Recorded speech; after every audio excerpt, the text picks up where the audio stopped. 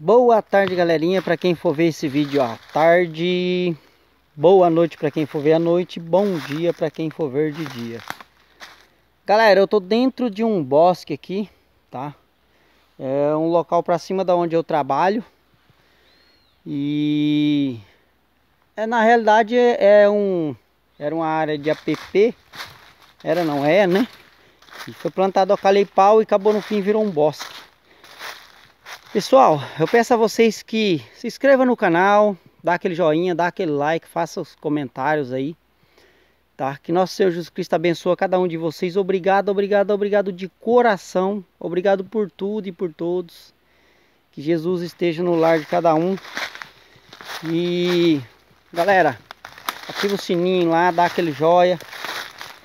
E pessoal, não sei nem o que dizer, sabe? Só quero agradecer a vocês, primeiramente a Deus, que Deus fortaleça vocês, que Deus ilumine cada um de vocês aí, dê bastante saúde, paz, alegria, tá? Prosperidade.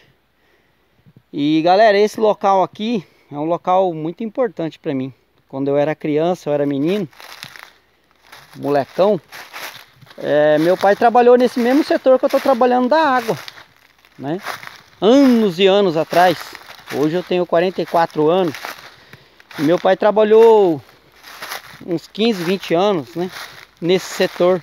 E eu vinha nesse corgo aqui, galera. Eu vinha aqui. A, a, aqui é a cabeceira, que era uma mina super grande. Eu vim aqui pescar, galera. Vocês estão vendo esse buraco, essa vala aqui, ó. Eu vinha pescar. Pegar bagre, pegar tambiú, lambari, né? Eu vim aqui, galera. Isso aqui tudo, ó. A coisa mais linda do mundo era, galera. Chuva direto, não fartava chuva, chegava a inundar lá embaixo. Hoje, pessoal, tudo seco, seco, seco, seco, seco, seco, seco. Tudo mal acabado, tá? E às vezes algum lugar que você vê úmido, que nem ali, ó. Algum lugar que você vê umidade, um, um chorãozinho de água, ali, ó. Aquele chorãozinho fraco de água, olha lá. Sabe?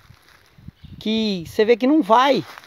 No entanto que o proprietário aqui desse local pô, pegou o gado e, e põe uma caixa d'água, trouxe água lá do poço dele, lá de longe lá.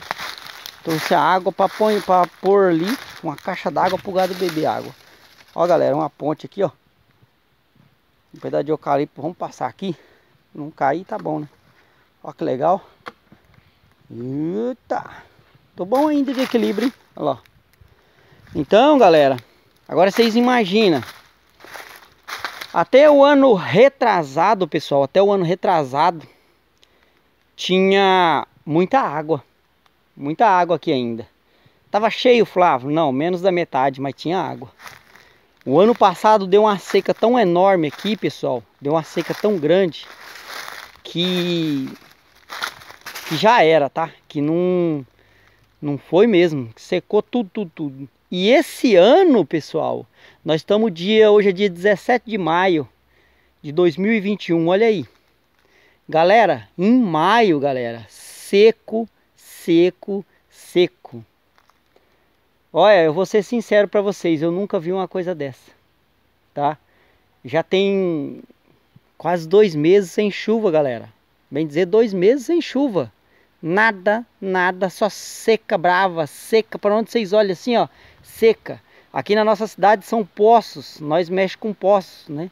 E os poços estão secando, galera. A gente tá, tá reservando água, fazendo de tudo, como se diz, fazendo das tripas ao coração, como diz o povo antigo, para mandar água para a população. Galera, não cortando o assunto, olha o que eu achei aqui. Olha isso aqui. Olha que benção de Deus. Achei uma casa de Jataí, galera. Olha aqui. Coisa linda. Ó, viu? Eu tenho, acho que eu tenho dois lá em casa, galera, Nitoco. Sabe? Só que eu não mexo não.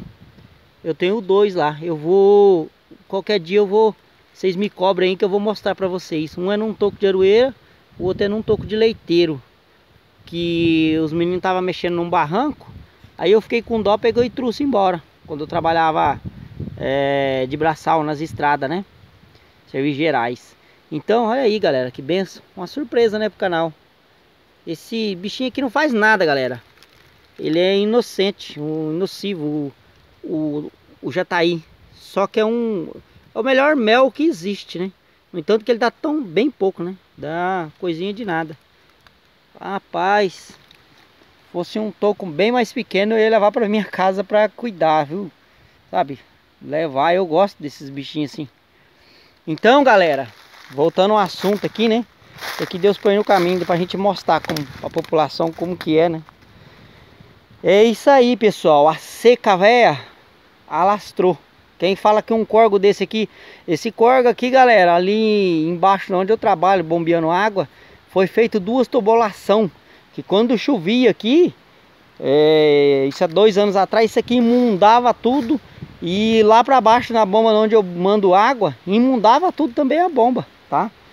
Então, foi feito duas tubulação enorme lá para desviar a água.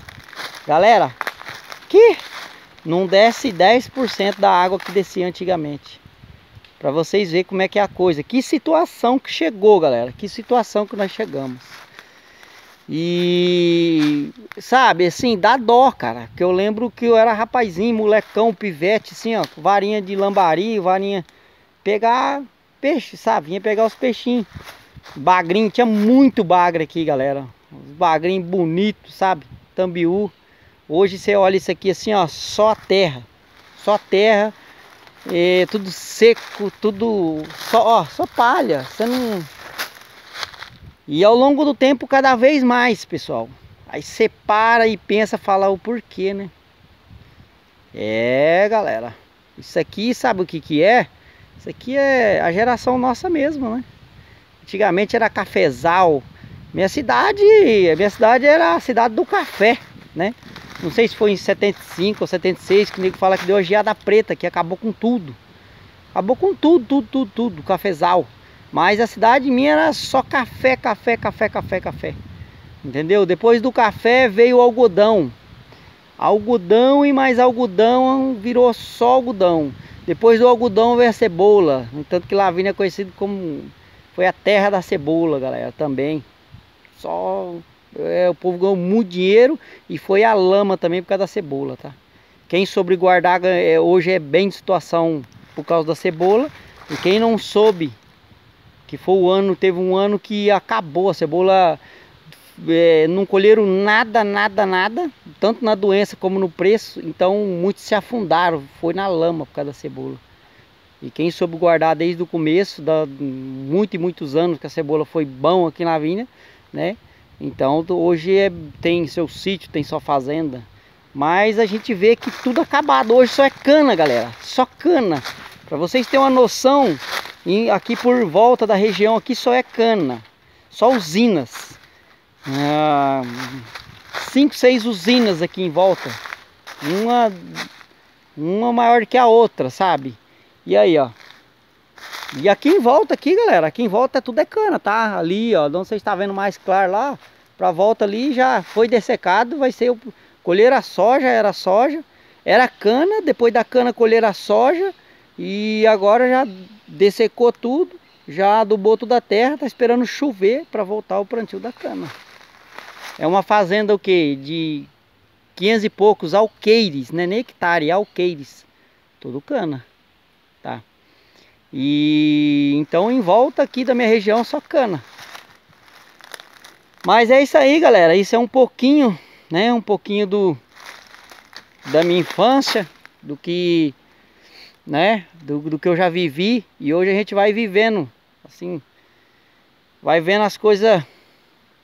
Só mão de Deus, viu, galera? Só mão de Deus. Mas pessoal, um forte abraço aí, fica com Deus. Não sei quando eu vou postar esse vídeo, né?